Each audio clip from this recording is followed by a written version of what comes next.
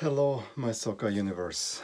I don't believe it myself, but I'm finally getting to it. The League uh, jersey review, long overdue, I understand. But hey, this is the jersey review with probably the best background ever. Um, I decided to not Frenchify it even more because I think there's enough French on there. You have the World Cup winning jersey 98, you have the Euro winning jersey 2000, Senegal, Mali, Cameroon, all largely French speaking countries. We have a Brazil shirt up there, which is also related to France, because um, many Brazilians at least used to play there. So I think it looks fine and all the other stuff, uh, all the other countries, and there's some French connection surely there. I am wearing for this video my PSG 95-96 uh, jersey. This is the one that I totally forgot I should have put somewhere here. Uh, if you ask me which jersey would have would I have replaced, maybe even this Barcelona jersey, although it's uh, special, maybe the England could be the Argentina, but I really like, I wanted to have some Argentina on there. So yeah, there, there, there you go. I feel bad about it because this is an awesome jersey. It's one that I wanted to have. Uh, in the 90s I was a huge PSG fan. And I'm starting again to find my love, but Neymar makes it so hard on me. But yeah, I'm gonna do this review the same way as I did the reviews for the other four leagues that we had so far. Um, meaning I put the teams together, um, rank them by the standings of last season, so uh, 1 to 20. Then I went um, 1 goes in the first video, 2 goes in the second video, 3 goes in the fourth video, 4, uh, third video, 4 goes in the fourth video, then 5 goes in the fourth video, 6 goes in the third video, 7 goes in uh, the second video, and 8 goes in the first video and go like that. So we get 5 teams in each video. Um, and of course there is the big team, the champions of last year in the first video. That was to be expected, PSG, hence I'm wearing this PSG jersey. And we'll get four uh, two mid-table um, mid teams and two that were towards the bottom of the table last year, although one of these is actually quite a big name. And then throwing them together, I sorted them alphabetically just to round things out. Uh, as it happens, two of those teams that I'm uh, talking about are still in the relegation battle, uh, quite threatened to be honest, but um, only one was already last year there. So without further ado, I'm already talking three minutes. Let's get started. We'll start with AS Monaco. Uh, who is this one team that was down there last season that you would not expect them.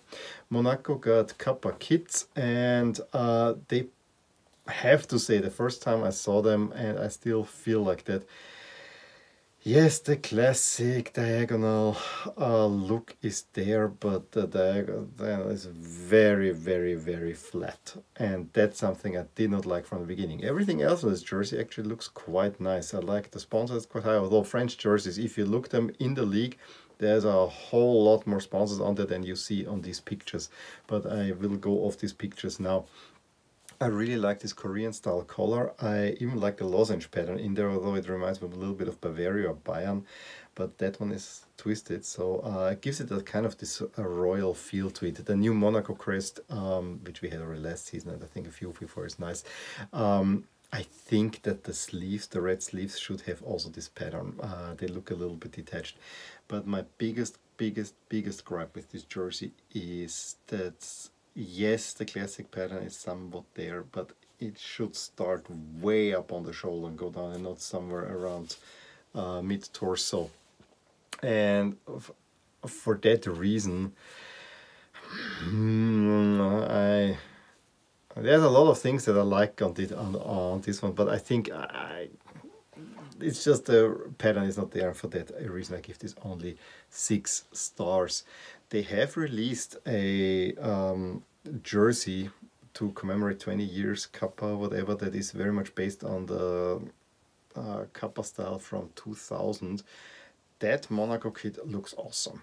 I have to say, I don't think it is, was worn uh, on field, that's why it doesn't feature in my review. But go on Footy Headlines and you see all my most of my pictures, but all of my pictures are from Footy Headlines. Great web page, you gotta check this one out. Um, there you can see it, maybe I have put it in now. This is a really awesome one, but I won't rate it because I think it hasn't been worn on the picture. I was wrong.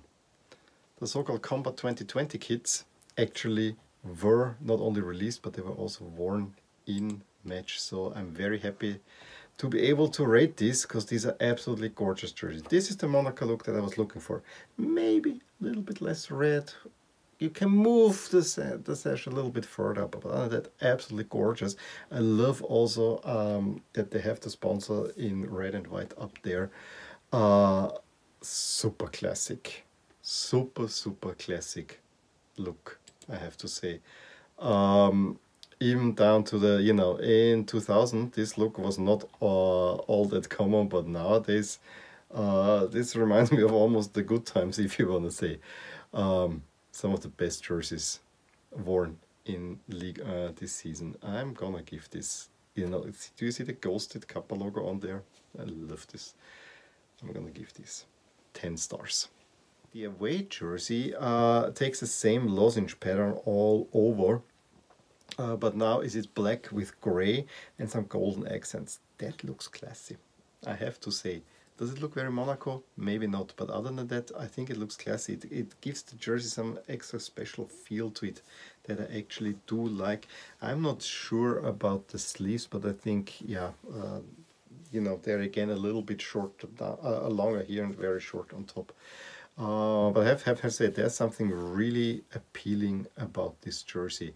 Is it my most favorite jersey? No, but I think um, it looks classy, it looks Monaco, it looks uh, slightly expensive. So for that reason, I'm, I'm willing to give this 7 stars. And the third kit, yeah, does the same thing in light blue. Marseille colors, Monaco, that I'm not so sure that this works. I think that a white kit would have worked better to be honest with you. I'm not sure the light blue. Um, yeah, it gives, but doesn't feel quite right. I mean, I like it, the light blue and then the dark blue applications, everything, monochromatic crest, of course. Um, look how weird the front actually looks on this one. I think the same is true for the, for, for the black kit, but it's not as obvious. Where shall I go with this one? Uh, it's overall pleasing, but it is not Monaco. So that's why we are in the 4 to 5 range. Since I like the color com combination, I'm gonna give this 5, but it's very close to giving it 4. We're only moving a little bit further along the Côte d'Azur to get to Nîmes, uh, Le Crocodile. Now I know it, I thought it was a, uh, a, dragon, but it's a crocodile and that makes me love this even more. Crocodiles probably of uh, living animals, my favorites. So uh, there are two French teams, honestly, that I should get jerseys, uh, just just because of the animals they are associated with. One is Nîmes for sure. Um, and I have to say, this Nîmes home jersey is really nice. Yes, lots of sponsors on there, but just look at the base design. You have the red and then you have the scale pattern from the crocodile. Oh, how much I love this scale pattern in there. Uh, you also have the city of Nîmes, there is a crocodile on there, and then in the, in, in the crest as well. I think there's, this is really, really pleasing. The sponsors maybe too huge, yes, but this is a really nice jersey, I have to, I have to, have to say. Um, how much shall I give this one? Uh, yeah, the sponsor puts it a little bit down, but I, this is 8 stars to me. Uh, the away jersey, similar design. Uh, the pattern now is, you know, on the previous one, the pattern was black on red, which looks nice. Uh, black on white it does not quite fit with the um, club's colors, which are red, but it looks really nice overall. It's the same design. I like the red sponsors. It's still very pleasing, I have to say. Um, I'm also gonna give this eight stars and the third is probably my favorite of the uh, 3 because here the red pops so much. This is super nice, I have to say. I really love what Nîmes is doing here. Uh, Puma is doing an excellent job with these kits. I actually, now that I see them, I want to have them. I know, Corona crisis, blah blah blah, I have to check out the store. Uh, the other team uh, will see in the, tomorrow's video. I'll let you know as well well, doing a really, really nice kit. I'm gonna give this 9 stars. This is one of the nicest ones in this League uh, season. And with that, we're going to the champions, PSG. We already saw the home kit in my Champions League jersey review. Link up there. Um, I have to say this is the closest we got to a proper PSG kit, which is what is called the Hechter design with the red, like Ajax, just with blue sides. Almost there. I actually have to say I like it uh, overall. Um, I just wish that the white was a little bit thinner and the red a little bit uh, wider. Even if you have just a center stripe, I think this would work fine. I am very pleased to say that next season, if there is a next season, given all the corona crisis, but I'm sure there will be, uh, PSG jerseys will look like that. Again, slightly different color though. They're going for the 50-year uh, look, so they're going way back uh, to the first design. This one still looks good, I have to say. Um, I also like that the new sponsor has a certain class to it, and for that reason, color scheme anyway very, very, very pleasing. The only thing, if you see this match, it looks like a white stripe. You don't see the red that, that much, and for that reason, I give it only 8 stars. The away kit, yeah, it's the Jordan kit. I honestly don't like it. Uh, it's this very bright red and then with black accents. I actually, if these were blue accents, I think I could live with it more, but I don't understand quite the black. Uh, and also the, the color stopping here uh, where the raglan sleeves come in, it's just not my thing. Even the crest looks weird with you know black and the red popping out. The best thing that this jersey to me has going for it is the Jumpman logo. And yeah, that the red Kids have been I think PSG and Red Kids makes a whole lot of sense. But then put some blue on there and not do the black thing. That to me develops the jersey and for that reason I know it will sell like crazy, but I don't like it. Three stars only. But I love, I absolutely love the third kit. Um, why do I love it? First of all, white makes a whole lot of sense. I always like off-center stripes and double stripes even better full color crest in there and what I absolutely love is it's a reference to uh, the first Nike kits uh, that were made for PSG and Nike and PSG have one of the longest if not the longest standing cooperation in all of Europe. This jersey just looks class. The polo collar, great, sponsor fits in nicely. I think it's even in a competition, it doesn't even go into the um, um, band here. Uh, Nike logo is the All-Star logo that I have here too, so that makes for a nice look. The only bone of contention is that there's this diagonal shadow striping, which runs a little bit counterintuitive to uh, the um, band, the vertical band here. So uh, if that one was also vertical, I think this would be uh, an A plus jersey. This is still a 10 stars. I talk already my Champions League church. It's one of the nicest kits this season. Absolute favorite of mine. And then earlier this year, PSG also released a fourth kit, again with a Jumpman logo. This was slated, or was at least rumored to be worn a lot in the Champions League knockout stages. So far, they have not worn it. Um, they have worn the home jersey and the and the white jersey, and I think it was rather here down to the squad. The squad said, we're doing well in this uh, blue jersey, we don't want to wear black again. So yeah, it has been worn only a few times. Um, I have to say, black, if this was navy blue with that uh, stripe down, this would be a perfect France jersey in many regards. Um, but even though, yeah, I do like it. It's the same design as the um, home jersey. It has the Jumpman on there. The PSG crest looks a lot better with uh, just the white outline uh, on black. I have to say it as well, much better than the red one. Of course, full color I would prefer more. Uh, it's a decent look. I mean, the French flag, you, you're going all out. Um, is it better than the home jersey? I don't think so. It's not. It doesn't scream as much PSG as a fourth jersey. I think it's a nice one, and unfortunately, we're already in the fourth jersey world. I will do a video on all these special fourth jerseys have been released in Serie A, uh, Bundesliga, and so on. This will come, um, if not this week, the next week. Definitely a big project of mine.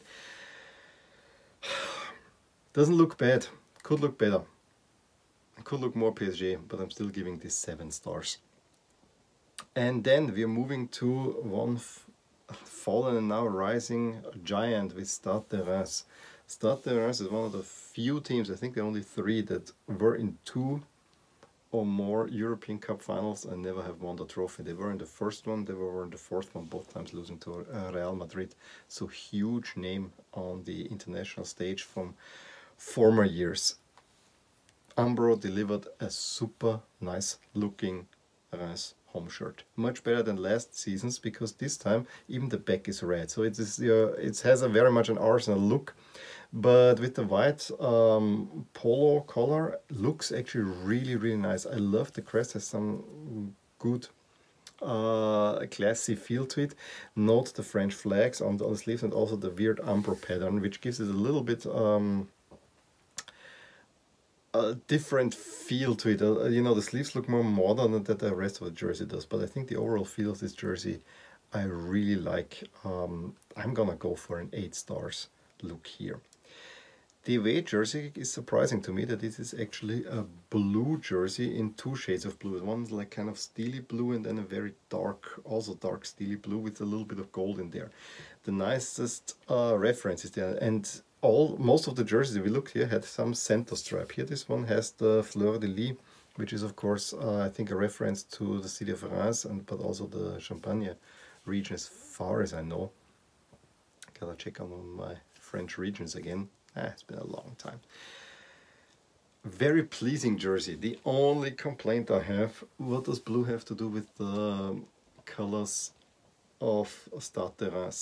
That's probably the one thing. I actually let, let, let me look up if I can find any anything on the colors of the Champagne. Well, blue and white are the colors of Reims, so I guess it makes some sense to have uh, the colors chosen this way.